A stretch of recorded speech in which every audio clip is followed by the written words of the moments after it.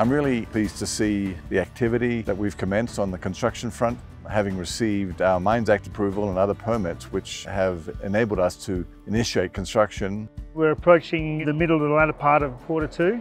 We have some 275 to 285 people on site as I speak.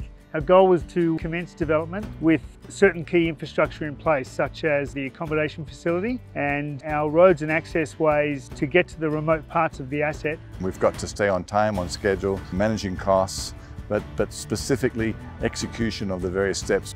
Really pleased to see concrete being poured, the ball mill foundations were poured, the ring beams for the tanks, early stage works on the tailings storage facility, over the last two months, Sedgman have started their mobilisation. They've got the batch plan in place there, which we can see off to the right-hand side. And then beyond that is the milling CIL area, where the concrete has been poured for the mill base.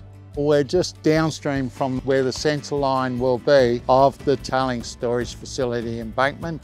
We will be excavating, we will be clearing and grubbing the entire footprint the design itself is a uh, tried and proven uh, design that has been around for a long, long time. At Blackwater we pride ourselves on being good neighbours in the area in which we operate. Our attention to safety is paramount and our priority.